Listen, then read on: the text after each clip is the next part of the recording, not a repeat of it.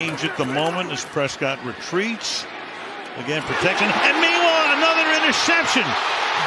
Byard off to the races. He goes to the 40 yard line. Career. Very opportunistic, great ball skills.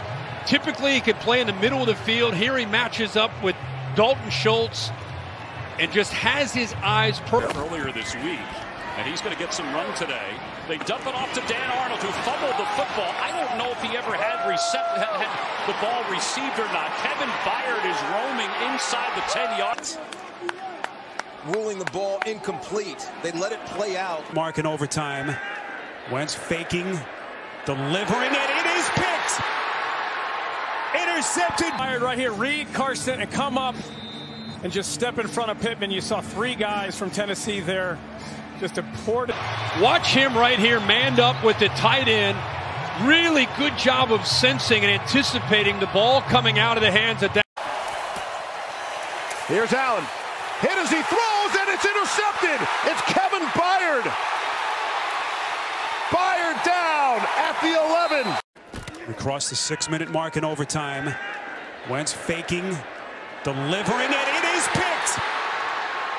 Intercepted by Bud.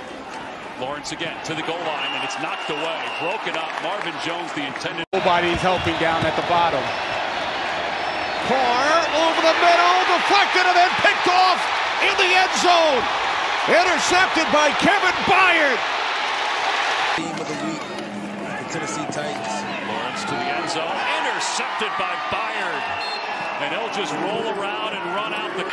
Second and long, Kansas City has 55 yards of offense. Mahomes steps up to run.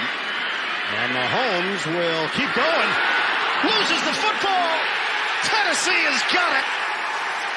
Nothing is working for the Chiefs. Come from Patrick Mahomes trying to make something happen, and he wasn't careless with the ball. He was trying to tuck it away. But it was a better play by Kevin Byard. Touchdown in eight games, second longest active drive in the league. Wentz to the end zone, batted down and incomplete. Pittman, the intended. Four-man rush. And that's going to be picked off at the 24 by Byard for the touchdown. Mess around here a little bit before he got to his assignment out in the flat.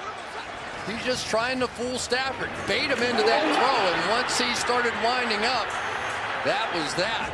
Like this, I mean, this Titans defense is just dominating the first half.